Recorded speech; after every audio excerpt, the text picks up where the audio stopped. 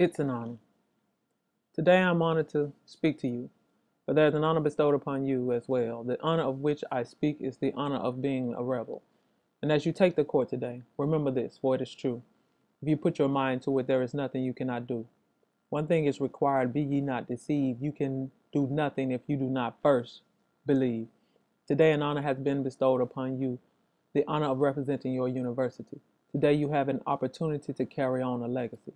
Have no fear of your opponent. Be confident that your, the hours of running, lifting, practicing are not in vain. Do not let fatigue make you a coward. Never give in to pain. They are both temporary, they only last for a time. And there is an old saying that goes mind over matter, which means it doesn't matter if you don't mind. Again, I am honored to speak to you, but there is an honor bestowed upon you as well.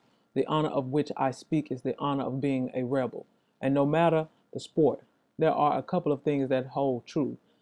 Offense wins games, but defense carries you. Yes, defense wins championships, rebounds win rings. Oh, how a simple concept this seems. But the fact of the matter is, to do these, it takes effort and smarts. And most of all, it takes a lot of heart. And everyone knows this tidbit about sport.